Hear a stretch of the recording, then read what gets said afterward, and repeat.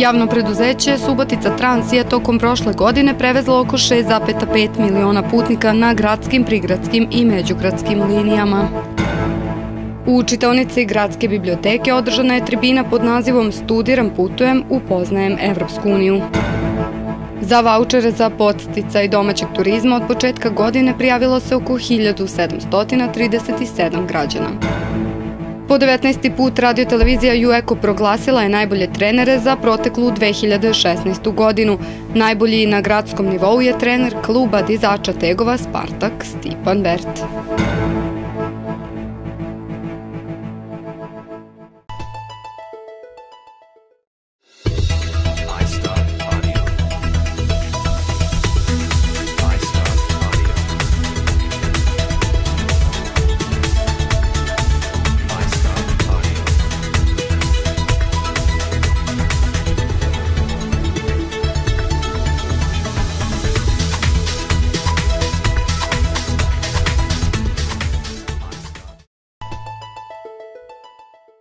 Dobroveče, poštovani gledalci. Moje ime je Nina Milanković, a vi pratite Infoblok Eko televizije. Javno preduzeće Subotica Trans je tokom prošle godine prevezlo 6,5 miliona putnika na gradskim, prigradskim i međugradskim linijama. Okosnicu gradskog prevoza čine tri linije, 1, 6 i 16, koje su i tokom prošle godine imale najveći broj putnika. Povećanje broja putnika je posebno izraženo na linijama ka industrijskoj zoni Mali Bajmok. Nekada je u ovom gradu glavna linija bila linija broj 16, jer je najveći deo putnika putovao ka industrijskoj zoni Aleksandrova, koja je tada bila jaka. Sada je formirana industrijska zona u Crvenom selu, u Malom Bajmoku, i tokovi putnika se premeštaju u tom pravcu. E, verujte da smo prilično sredstava okrenuli e, na liniju broj 6, međutim to još uvijek nije dovoljno. Non stop se povećava broj ljudi koji rade u zoni, što je odlično za ovaj grad i mi ćemo morati da nađemo načina da ispratimo njihove potrebe. Što se tiče prigrada, takođe povećanje broja putnika je e, zabeleženo pred svega tamo gde smo duplirali, odnosno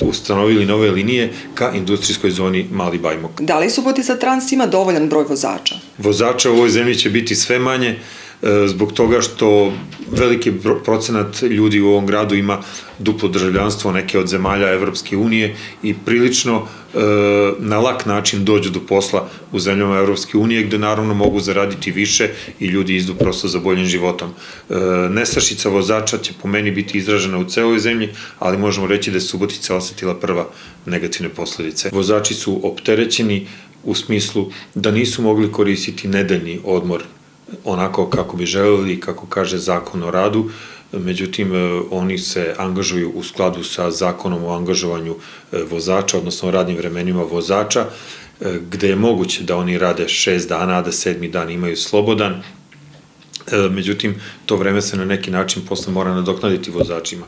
S obzirom da je zaista bio manjak vozača izražen, to nije bilo moguće uraditi i onda je došlo do gomilanja viška sati od velikog broja vozača da kažemo i to je rešeno na jedan način drugačiji, upotrebljena je zakonska kategorija da se prekovremeni rad može platiti. Naravno da je angažovanje vozača u smislu bezbednosti saobraćaja u našem preduzeću se odvija isključivo sa normama e, zakona o bezbednosti saobraćaja i zakona o radnim vremenima vozača. Da li ste tokom prošle godine obnavljali vozni park i kakve su planovi za ovu godinu?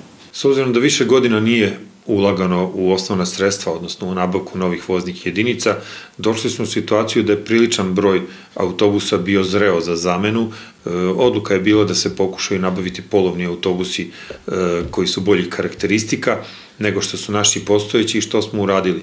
Tako da je praktično za prošlu godinu nabavljeno osam novih autobusa, e, velika većina njih je već u upotrebi, imamo još jedan koji prigodimo kraju, on je tu, e, samo njehovo sređivanje, prilagođavanje našem sistemu, ugrađivanje sistema za elektronsku naplatu karata i slično.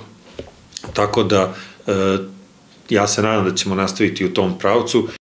Infrastruktura je ključna za poslovanje postojećih kompanija kao i za sam život građana, zbog čega je Ministarstvo privrede uputilo javni poziv lokalnim samoupravama za prijevu projekata koji će biti podržani u naredne dve godine kroz program podrške u napređenju lokalne i regionalne infrastrukture Gradimo zajedno. Državni sekretar Ministarstva privrede Dragan Stevanović rekao je da program postoji od 2009. godine i da lokalne samouprave znaju kakav je spektar projekata koji može da se podrži. Ističe da je moguće podržati različite projekte kao što su putna ili socijalna infrastruktura, ulaganje u škole, fiskulturne sale i kulturne zgrade, u sve što može da bude u funkciju napređenja života lokalne samouprave. Stevanović je objasnio da u projektima lokalne samouprave i ministarstvo učestvuje sa po 50 sredstava. Dodao je da tehnički nivo prijave mora da bude na visokom nivou i da je do sada tim delom bilo problema. Ističe da je cilj spremiti lokalne samouprave da budu atraktivnije za investitore, ali napominje da je odluka o ulaganju uvek na investitoru. Dragan Stevanović je napomenuo da vlada s jedne strane pokušava svaku samoupravu da učini atraktivnijom, a sa druge strane kanališe trošenje novca u prave svrhe i u stvari koje su od strateškog karaktera. U čitonici Gradske biblioteke održana je tribina pod nazivom Studiram putujem, upoznajem Evropsku uniju. Cilj ove tribine bio je da se građani Subotice informišu o pogodnostima koje Evropska unija pruža državama članicama. Takođe, predstavljene su i mogućnosti odlaska na studentske razmene u okviru Erasmus Plus programa. Predstavnici Kancelarije za evropske integracije vlade Republike Srbije predstavili su publikaciju Mitovi o EU. Cilj publikacije jeste da se šira javnost upozna sa pogodnostima koje nam Evropska unija nudi kako prilikom procesa pristupanja, tako i nakon ulaska u EU. Pokazalo se da su mitovi vrlo prisutni u javnosti i to nije slučaj samo u Srbiji, tako je čak i u nekim zemljama članicama. E, recimo, Velika Britanija je zemlja koja je imala najveći broj mitova i koja evo sada verovatno istupa iz Evropske unije, ali u svakom slučaju mi smo odebrali dvadesetak najznačajnijih koji su najčešće prisutni u našoj javnosti kao što su a, da ćemo mi izgubiti nacionalni identitet, upotrebu srpskog jezika, ćirilice, jer su sve ove priče i svi ovi mitovi upravo to mitovi i nama je bilo značajno da razbijemo nekim argumentima, činjenicama, brojevima, statistikama, zato što su mnogo istraživanja urađena na ove teme i pokazalo se da su oni upravo samo to i ostao na nivou mitova. Na današnjoj tribini predstavljen je Erasmus Plus program koji traje od 2014. do 2020. godine i on pruža mogućnost studentima da odlaze na studentske razmene koje traju jedan ili dva semestra. Takođe, postoji mogućnost odlaska na master studije gde nakon završetka studija studenti dobijaju strane višestruke diplome. To podrazumeva da studenti se malo napred, znači nekoliko meseci napred prijave na konkurs univerziteta, da zatim e, odu i odstudiraju e, u jednom napred planiranom programu, e, odslušaju i spolažu neke predmete na, na, na univerzitetu u Evropskoj uniji, gde kada se vrate u, na svoj univerzitet da im to bude priznato i da na, nastave studije, stičući tako neko dodatno znanje i iskustvo koje možda ne bi imali prilike da steknu e, studirajući samo u, u, u svojoj zemlji. E, druge mogućnosti, i te mogućnosti za studentske razmene su aktuelne, znači već od druge godine studija, na, svi, na ostatku osnovnih studija, na masteru i na doktorskim studijama. Za sve mlade od 17 do 30 godina na raspolaganju je Evropski volonterski servis. U pitanju je program volontiranja od 2 do 12 meseci gde volonteri dobijaju priliku da volontiraju na programu koji im je tematski blizak. Za vaučere za podstica i domaćeg turizma od početka godine prijavilo se 1737 građana, a najveće interesovanje je za Lukovsku i Prolom banju, Divčibare i Soku banju, rečeno je agenciji Beta u Ministarstvo trgovine, turizma i telekomunikacija Srbije. Prema podacima Resornog ministarstva od tog ukupnog broja građana prijavljenih od 1. do 27. januara, najveći deo su penzioneri e, sa 57,5%, a sledi bili zaposleni čije primanja ne prelaze 60.000 dinara i njih je 32,2%, dok su 9,3% e, nezaposleni. Trenutno su građanima na raspolaganju 343 ugostiteljskih objekata u kojima mogu da koriste vaučere, a lista ugostitelja se ažurira svakog petka. U ovoj godini za vaučere je iz budžeta Srbije izdvojeno 300 miliona dinara, a građanima će biti podeljeno 60.000 vaučera u vrednosti od po 5.000 dinara. Vaučeri se domaćim gostima daju za najmanje pet noćenja u ugostiteljskim objektima izvan opštine korisnika vaučera, odnosno prebivališta. U turističkoj organizaciji Srbije, agenciji Beta je rečeno da je mera vlade Srbije za podstica i domaćeg turizma kroz dodelu vaučera dala odlične rezultate ne samo kroz povećanje broja domaćih turista koji su odmor, odmor proveli u Srbiji, već i kroz značajno produženje trajanja njihovog boravka na odabranim destinacijama. Turistička organizacija Srbije, kako navodi u skladu sa projektom vlade i Ministarstva trgovine, turizma i telekomunikacija, planira realizaciju svojih promotivnih aktivnosti tokom čitave godine kako bi na što bolji način građanima predstavili turističke atrakcije u Srbiji. Najavili su Najavili su i intenzivniju saradnju sa predstavnicima domaćih medijskih kuća, kao i pojačano prisustvo na društvenim mrežama, kreiranje i sprovođenje kampanje e-marketinga.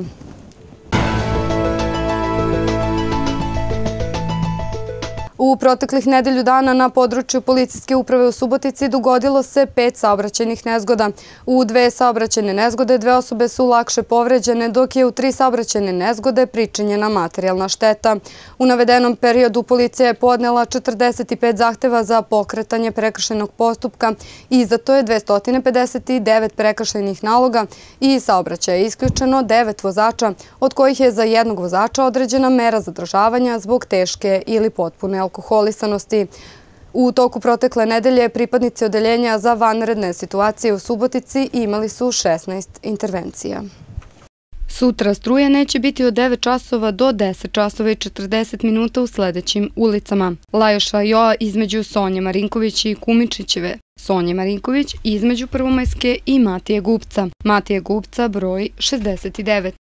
Prvomajska broj 38, Josipa Zelića između Jelene Čović i Ištvana Rutaja. Ištvana Rutaja broj 1 i 2, Jelene Čović broj 45 i Vlasenička brojevi 42, 43, 44, 45 i 46. Od 11.30 do 12.30 struje neće biti u ulici Matije Korvina broj 2, Korzo broj 15 i Park Rajhal Ferenca broj 1 i 3. Od 11.40 do 13.10 u ulici Braće Radić, neparna strana između Mirka Bogovića i Kumičićeve i Sonje Marinković, broj 29.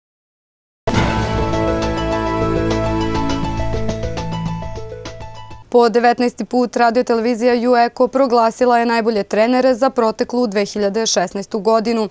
Najbolji trener u gradu je Stipan Vert, trener kluba Dizača Tegova Spartak, dok je na saveznom nivou najbolji savezni trener rvačke reprezentacije Sreten Damjanović.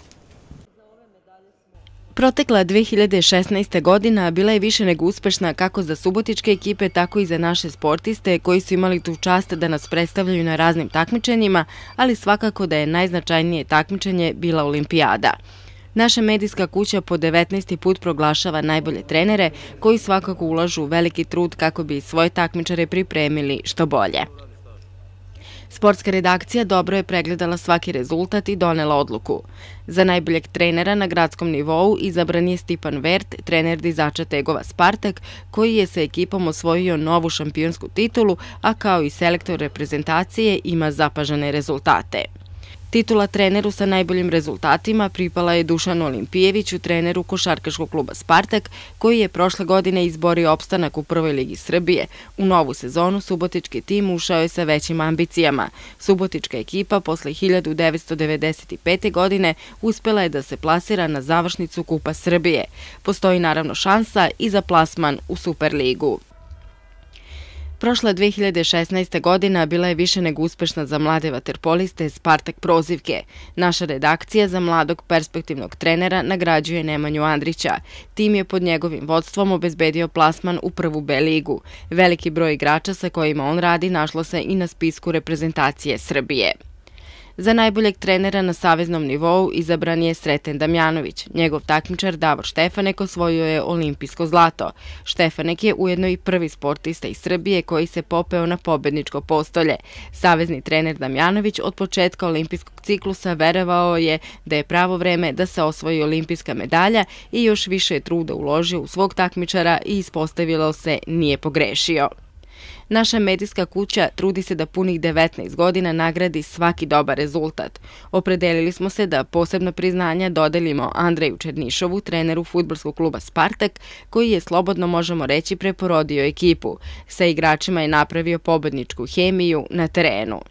Posle 22 godine trenerskog uspešnog rada ne možemo da ne nagradimo našeg subotičanina, trenera Tomislava Sivića, koji je sa mladom futbolskom reprezentacijom bezbedio učešće na Evropsko prvenstvo. Iako Sivić više nije na klupi reprezentacije, sigurno je da je on sa igračima ostvario cilj, a to je da jedna uspešna generacija nastavlja da ostvaruje zapažene rezultate gde god da se pojavi. Slede i ostale sportske informacije. Možemo reći i subotički sportisti ostvarili su zapažene rezultate u poslednjem vikendu u mesecu januaru. Naše košarkaške ekipe ostvarile su polovičan rezultat. U okviru 16. kola prve lige ekipa Blago Ejbića izgubila je od Novosadske ženske akademije rezultatom 63 prema 65. Bila je ovo jedna teška i neizvesna utakmica do samoga kraja. Rezultat po četvrtinama bio je 10 prema 20, 15 prema 11, 16 prema 15 i 22 prema 19. Pored poraza za domaću ekipu, usledio je još jedan peh.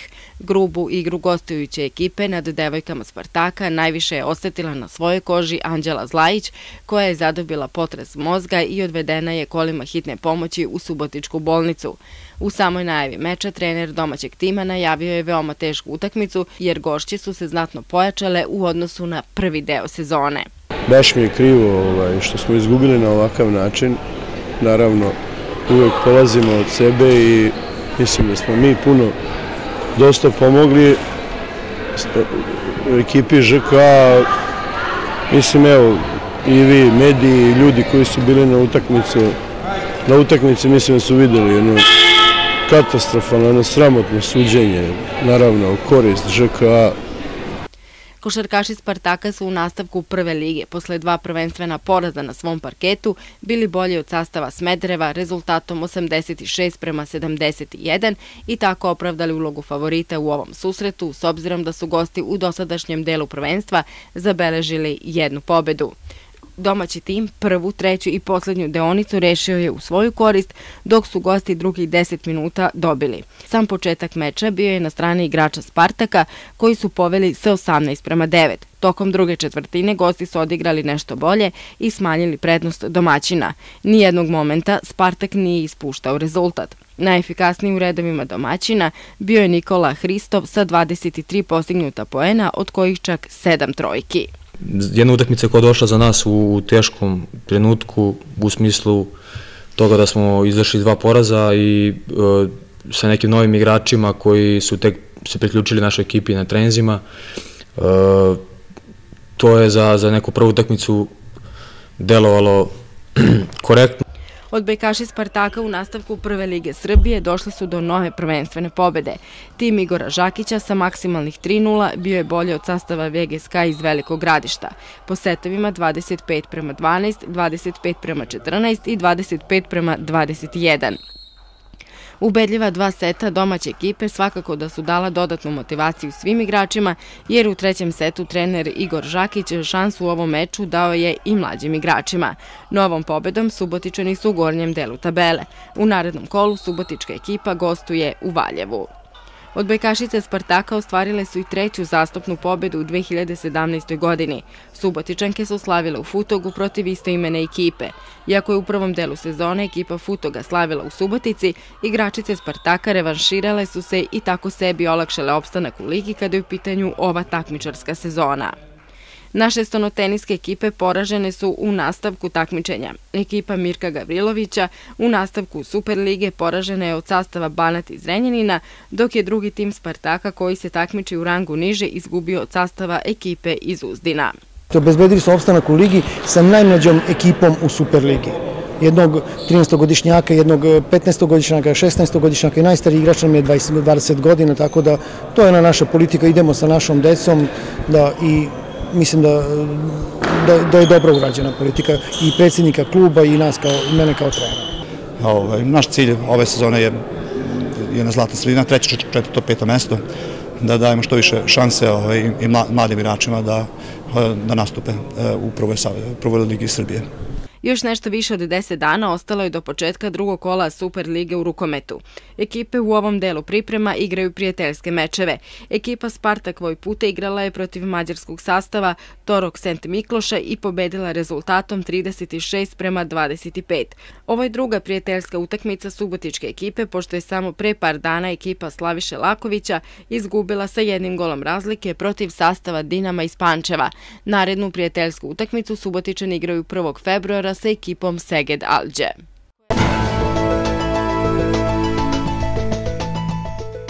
Sledi vremenska prognoza. Vreme sutra prepodne sunčano, popodne umereno oblačno. Duvaće umeren jugoistočni vetar. Minimalna temperatura minus 7 stepeni, maksimalna dnevna 3 stepena. Usled očekivanih biometeoroloških prilika oprez se preporučuje osobama sa respiratornim oboljenjima i srčanim bolesnicima. Kod meteoropata se očekuju reumatski bolovi, glavobolje i nervoza. U saobraćaju se savetuje maksimalna pažnja, posebno u toku noći, utorak na sredu. Još jednom gledamo najvažnije vesti. Javno preduzeće Subotica Trans je tokom prošle godine prevezlo oko 6,5 miliona putnika na gradskim, prigradskim i međugradskim linijama. U čitaonici Gradske biblioteke održana je tribina pod nazivom Studiram putujem, upoznajem Evropsku uniju. Za vaučere za podstica i domaćeg turizma od početka godine prijavilo se oko 1737 građana. Po 19. put radiotelevizija UEKO proglasila je najbolje trenere za proteklu 2016. godinu. Najbolji na gradskom nivou je trener kluba dizača tegova Spartak Stipan Bert. Poštovani gledalci, bio je ovo infoblog. Ostanite i dalje uz Jeko televiziju. Prijatno večer.